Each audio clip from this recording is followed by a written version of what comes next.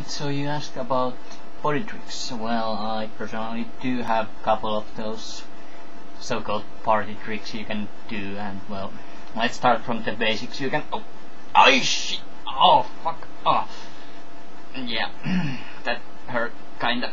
Ow, ow, ow, ow. Yeah, just kidding. My hand kinda likes to do this. Yeah, that's the basic stuff. Now for the second part. Basically, you need something that you can hold on to tightly, and uh, then you can grab your hand on it. Then you just go under it.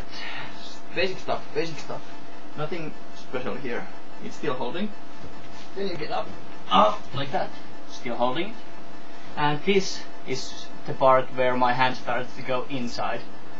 And oh, I can get some angle there.